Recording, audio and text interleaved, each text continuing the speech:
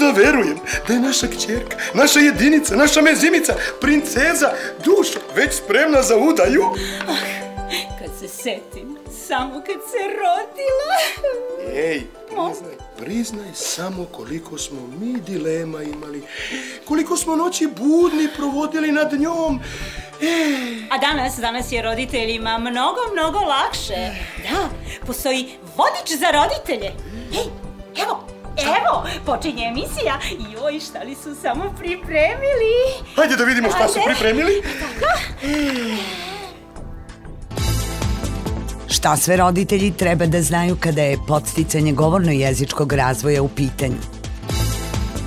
Šta decu privlači u mačevanju? Iz čega se sastoji trening mačevanja? Sa koliko godina je idealno početi? Šta su to posebno obrazovane dadilje? Šta i na koji način uče? Po čemu su privatne škole posebne? Šta i na koji način deca tamo uče? Kada je pravo vreme za prvi odlazak u pozorište? Šta su karakteristike lutkarskih predstava?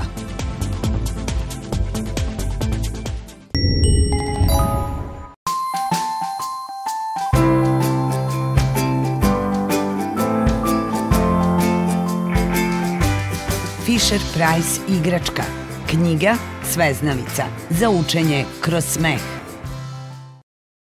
Šta beba govori kada još ne govori? Koje faze prolazi pre pojave prve reči? Kako se razvija komunikacija i govor od rođenja do treće godine? Čitajte i gledajte. Knjiga i DVD Lako do prvih reči sa logopedom Milicom Vakić. Naručite svoj primjerak telefonom ili preko web sajta. Samo u vodiču za roditelje.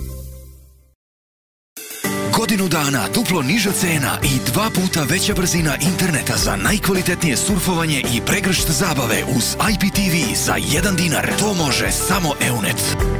Sajt posvećen roditeljstvu www.vodicazaroditelje.rs Emisija, časopis, multimedijalna izdanja, oglasi, pitanja i odgovori. Sa nama nema lutanja.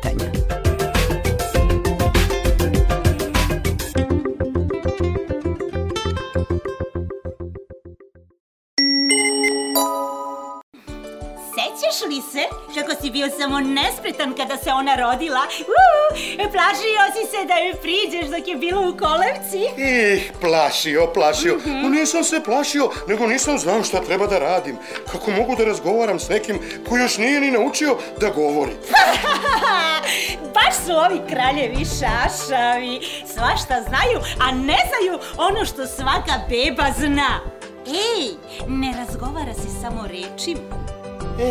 Da.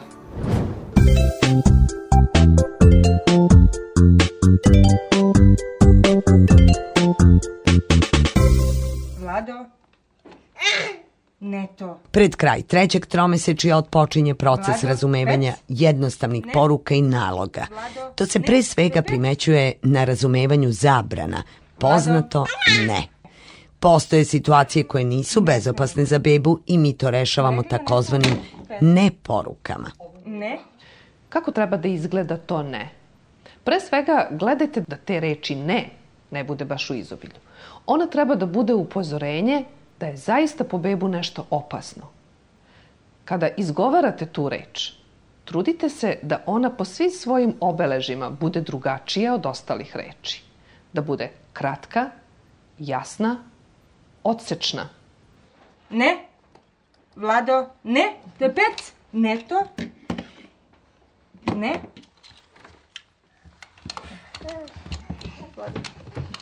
Izmenite izraz lica. Nemojte izgovarati sa osmehom. Jer ne samo što će ta reč ne izgubiti na značaju, na svojoj snazi, na jačini, nego je izbunjujuće za bebu time što sadržaj onoga što govorite nije u saglasju sa načinom na koji to činite. Smejete se, a kažete ne. Stavljate bebu u konflikt. Šta je od toga ono što treba da izaberem? Da li sadržaj kao ne ili sva ona ispoljavanja koja ta reč nosi sa sobom, izraz lica. Svakako nemojte preplašiti bebu, naravno, ali budite istrajni da je ne zaista Daj ne. mi to. Daj mi. Hvala. Ne. Ne.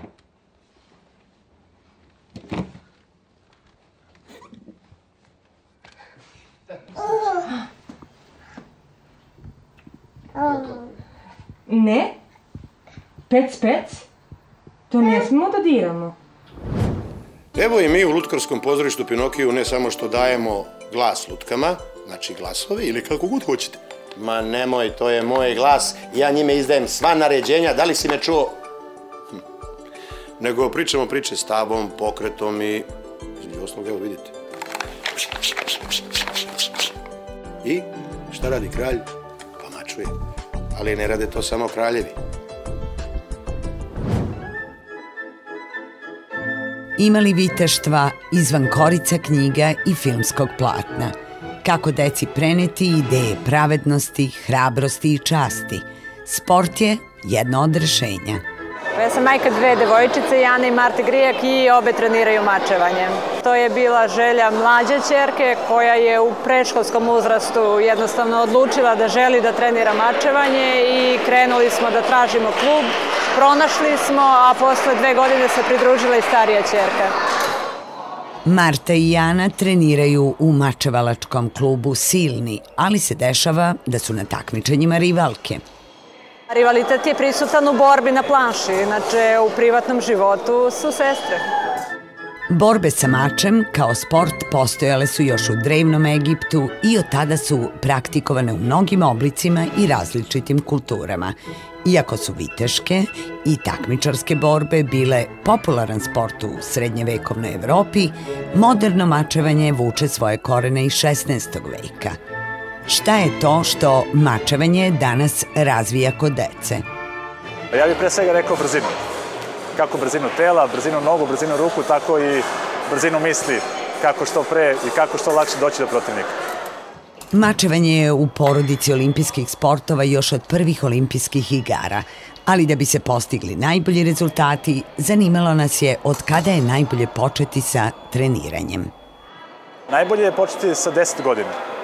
Tako da prvo vreme radili se neke koordinacijske vežbe, razvijanje motorike, zato što je mač, mačevanje specifičan sport. U isto vreme rade ruke i noga dve odvojene radnje, što je vrlo teško za dečji mozak da prihvati u početku. Posle par godina, kada se malo sve to usaglasi, onda možemo reći da postaju pravi mačevaci sa 13-14 godina.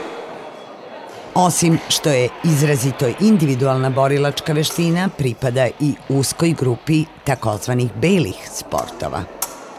Postoje tri discipline pored mači sablje. Ranije je bila ovaj, ustaljena praksa da se kreće sa poretom, a danas u razvijenim mačevačkim zemljama kreće se sa disciplinom jednom i sa njom se nastavlja do kraja. Bavljanje sportom je veoma zdravo, ali svaki od sportova ima i svoje rizike. Povreda nema, a što se tiče loših strana sporta, može se reći da ukoliko je mačevac desnorug, malo se više razvija desna strana, ali mi to pokušavamo da izbalansiramo tako što raznim vežbama razvijemo i levu stranu paralelno sa desnom. Mačevanje nije ništa skuplji sport od futbala, košarke ili nekih ostalih sportova, jer kompletna oprema za mačevanje se može nabaviti za 200 evra i mačevati sa njom narednih 4-5 godina bez ikakvih dodatnih troškova. Ono što je neophodno, osim samog oružja za ovaj sport su zaštitno odelo, rukavice i maska. Ali pošto boj ne bije svetlo oružje, već boj bije srce u junaka, evo i nekoliko razloga zbog kojih su se mali junaci odlučili za ovaj sport. Mačevanje se sviđa zato što je individualan sport i zato što je borbena veština koja nije toliko nasilna po meni kao ostale veštine. Pa najviše mi se dopada kod mačevanja e, to što pa možemo da radimo šta hoćemo i ne moramo da slušamo kako nam neko iz tima govori šta da radimo. Ili idemo jedan na jedan. Svidela mi se u početku veštine, gledala sam na e, televiziji i čula sam e, ranije o njoj kako pričaju i svidela mi se. Mačevanje volim zato što su mi bila, braća su mi bila prvaci Srbije i svidela mi se. Mačevanje nije tako rasprostranjen i popularan sport, ali očigledno koga otkrije ne napušta ga lako. Kažu da je tajna u tome što je mačevanje istinski izazov i za duh i za telo. Kada je moja princeza bila mala, uh, Da, da, da. Sasvim sigurno su se kraljice angažovale oko svoje dece uz brdo, brdo dadilja. Mhm. E pa, draga moja, i danas majke angažuju dadilje. I to ne bilo kakve. Dadilje koje su savladale lekcije iz knjige posebno pisane za njih. Aha, pisane. Mhm. Jedno od najtežih pitanja u roditeljstvu je kome poveriti dete na čuvanje dok su roditelji na poslu. Može li iko adekvatno zameniti majku ili oca 8 sati dnevno? Dadilje su staro i dobro poznato rešenje, ali obrazovane dadilje su nešto sasvim novo. Zahvaljujući iskusnom pedagogu Jeleni Holcer i specijalizovanoj agenciji za čuvanje beba i dece, nastao je priručnik za bebisiterke. U knjizi se nalaze od početaka, pošto babysitterke su uglavnom angažovane oko čuvanja male dece, to jest beba, tako da postoji deo koji se tiče komunikacije sa bebama, postoji deo koji se zove razvojna mapa, odnosno šta se u kom uzrastu može očekivati da vaše dete zna. Ta mapa je orijentacijona, što znači da nije nikakav problem ako vaše dete u trenutnoj fazi razvoja nešto nema da uradi. To samo znači da treba malo da ga pogurate u tom pracu da bi to savladalo. Iako pisan popularnim jezikom, u ovom priručniku nalaze se predlozi za igranje igara koje bi dadilje trebalo dobro da prouče, jer svaka igra podstiče određen segment dečijeg razvoja. Zbog toga je ovo štivo zanimljivo i roditeljima. Postoji način kako se uvodi čvrsta ishrana eh, kod dece, postoji i nekakav logopedski deo, to jest razvoj govora, što je veoma važno, opet više zbog roditelja nego zbog babysitterke. Babysitterke u tom slučaju samo nekako opominju roditelji da li su nastupili neki kritični momenti kada morate potražiti stručnu pomoć, odnosno pomoć logopeda. Postoji i deo koji se odnosi na prvu pomoć, jer iako smo svi nekako negativno raspoloženi prema tim stvarima, zapravo se te situacije događaju, a vaša babysitterka mora znati kako treba da reaguje u slučaju povrede ili bilo kakve neželjene aktivnosti vašeg deteta. U cilju što bolje edukacije babysitterki Jelena Holcer planira otvaranje i škole za njih. U ovom trenutku znamo da će ona imati tri nivoa, da će obuhvatati teorijski i praktični deo. Praktični deo podrazumeva direktan rad sa bebama, a teorijski nivo podrazumeva sve ovo što smo do sada naveli i što već postoje u našem priručniku. Sve osobe koji su zainteresovane za ovaj posao i koje budu u našoj školi dobit će uz ovaj priručnik i odgovarajuću diplomu, odgovarajući sertifikat, proći će niz testiranja i sve to mislim da će ih nekako dodatno edukovati što je zapravo u interesu raditelje i dece kako bi imali što obučeniji kadar za nego i vaspitanje svog deteta. Za sve one koji, pored angažmana babysitterke ili vrtića, žele da roditeljstvu pristupe na jedan ozbiljniji način, postoji i škola roditeljstva. Naša škola za roditelje koja je nedavno počela sa radom obuhvata u ovom trenutku četiri segmenta rada. To su savjetovalište, radionice, pravni savjeti iz porodičnih odnosa i energoterapija. Tako da je naša škola za roditelje namenjena pre svega pružanju podrške roditeljima, onima koji žele da se svom roditeljstvu uče niko neće pametovati da je to nešto što, da mi nešto znamo o vašoj deci više nego vi. Ali ćemo kroz razmenu iskustava i kroz te pedagoške neke smernice pokušavati da vaše roditeljstvo učinimo pre svega vama kao roditeljima što je moguće bezbolnije, što je moguće bezbednije, da vi u tome što više uživate. A to je onda siguran znak da će uz vas najviše uživati i vaša deca. Više detalja o pomenutim programima, kao i o savetovalištu za roditelje, možete dobiti na sajtu www.skolazaroditelje.com. Pa evo, do sada sam odigrao preko 30 uloga u pozorištu Pinokio. U jednoj predstavi sam odigrao pet uloga, mada to za mene nije teško i da bi bio u dobroj lutkarskoj formi moram stalno da učim i da vežbam. I opet kažem, ja to volim. E, baš tako deca treba da se raduju učenju u svojoj školi. Obrazovni sistem Vladislav Petković-Dis sastoji se iz osnovne škole i gimnazije smeštene na Neimaru u centru Beograda. To su privatne škole koje rade po programu Ministarstva prosvete Srbije uz dodatne programe i dvojezično izvođenje nastave. Od 30 do 50% uh, u zavisnosti od predmeta se obuhvata nastavom na engleskom jeziku predmeta koje deca slušaju na srpskom. To je veoma važno i za roditelje klijente koje dolaze iz inostranstva, a osim svakodnevnog obaveznog engleskog jezika, tu su uh, nemački, francuski, ruski kao drugi strani jezik, ali imamo i italijanski i španski kao fakultativne jezike. Novina je akreditacija predškolskog programa koji decu uz mnogo raznovrsnih aktivnosti priprema za prvi razred. Posebno škole je bogatstvo dobro organizovanih van nastavnih aktivnosti kao što su hor, časovi klavira, gitare ili folklora, kome se deca posebno raduju jer imaju priliku da nose narodne nošnje. A zanimljivo je da su uvedene i školske uniforme. Ja sam takođe kao osnivač i kao direktor škole išla ka toj odluci vrlo lagano iz razloga što sam u početku naišla na jedan mali otpor kod đaka, ali verujte sada i stariji đaci žele uniforme. To je nekako njihov đački kod, želja da pripadaju ipak jednom sistemu, DIS sistemu. Gimnazija Vladisla Petković DIS postoji od 2008. godine, pa se ove godine prva generacija maturanata priprema za polaganje prijemnih ispita na fakultetima. U svakom odeljenju nalazi se od 10 do 12 đaka, od kojih su neki došli iz državnih škola. To je bila odluka mojih roditelja, zato što su oni ocenili da je ovde dosta se bolje radi sa individualno sa svakim učenikom, što i jeste tačno. Ukoliko nam treba pomoć, profesori su otvoreni da nam pomognu uvek. U ovoj školi sam od šestog razreda, profesori su mlađi i onda nas razumeju. Manja je grupa i uvek imate prilike da se iskažete. Ako se dobije neka lošija ocena, ne mora da se čeka duže vreme da se popravi. Ja sam prešao iz državne škole zato što ovde lakše i bolje se savlađuje gradivo. Pošto još i treniram, tako da mi je i lakše isplativije da idemo u ovu školu nego u državnu. Ono što je sigurno drugačije nego u drugim školama jeste činjenica da se ovde svakoga dana dobijaju ocene.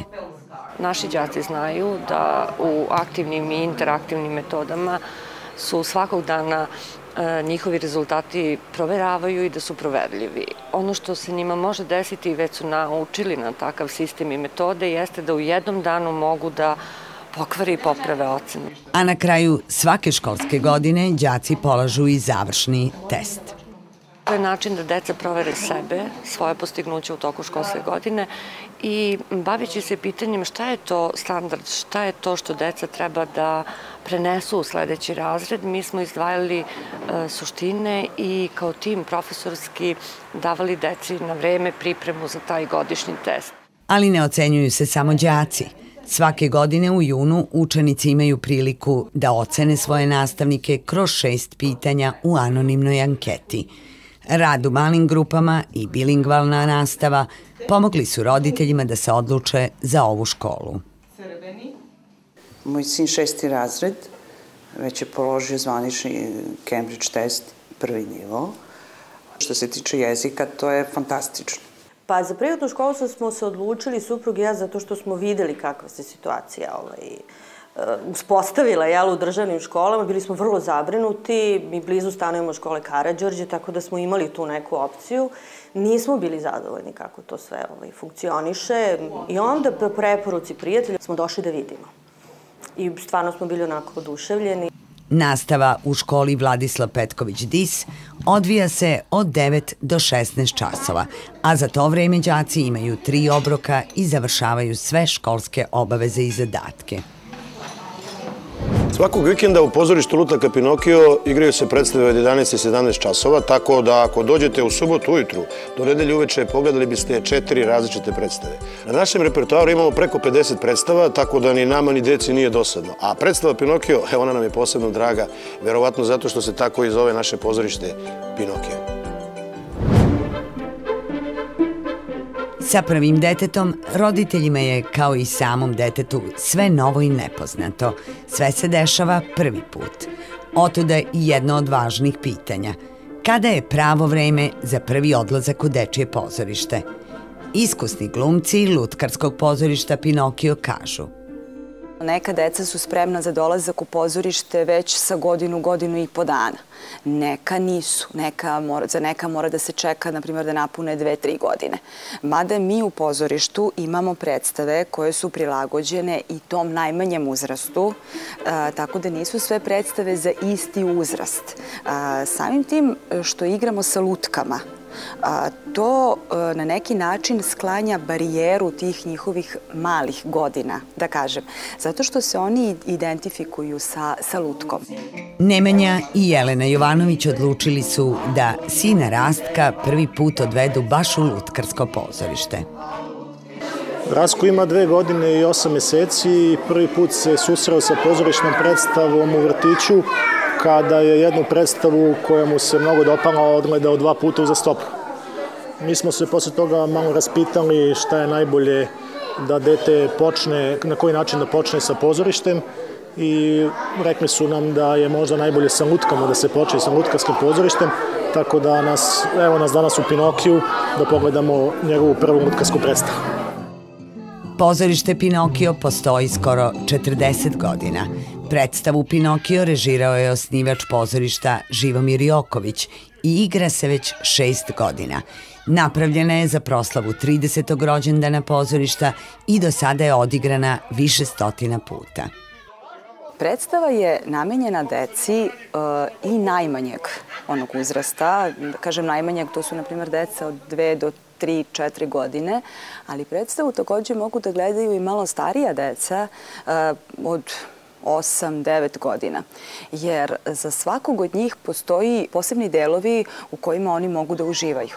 Ovi mali, oni prate priču, rađena je po uh, bajci Zlatni ključić. Oni opet uh, vole da, da učestvuju u predstavi uh, u tim delovima kada se bore dobro i zlo i tako dalje. A ovi veliki, oni opet vole da pogledaju lepu animaciju i da odslušaju lepe songove. Predstave za decu traju između 45 minuta i sat vremena, a maloj deci je vrlo teško zadržati pažnju. Nekada nam se dešava da deca jednostavno nisu zainteresovana, a opet nekada dođu deca i to je vrlo često koja zaista su uh, vaspitana tako da vole pozorište i vaspitane su da uživaju u predstavi. Uh, I to je nama pola posla urađeno. Ovo je predstava koja obiluje kratkim scenama koje njima ne traže neku naročito dugu pažnju, tako da i ti mali mogu da prate predstavu. Mali Rastko nije do kraja odgledao Pinokija. Pojavljivanje glumaca u publici, što je bio deo predstave, Rastko je protumačio kao kraj predstave i izašao je. Za prvi odlazak u pravo pozorište, Rastko je nadmašio očekivanja svojih roditelja. Utici su odlični. On je jako lepo prihvatio, bio je dobar, miran, skoncentrisan. Kao i njemu i meni je ovo prvi put da sam u Utkarskom pozorištu, tako da je jedno divno iskustvo i mislim da ćemo i dalje da nastavimo i sa nekim drugim predstavama. Tako da mislim da je za, za posetu pozorištu jako lepo početi na ovaj način.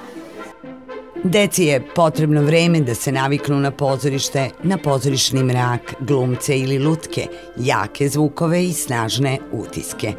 Ali kada jednom prihvate, pozorište za decu postaje neiscrpan izvor nesvakidašnjih utisaka i uživanja.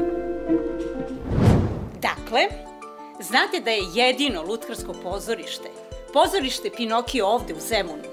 A, imamo mi puno, puno nagrada koje smo osvajali širom sveta. Do widzenia!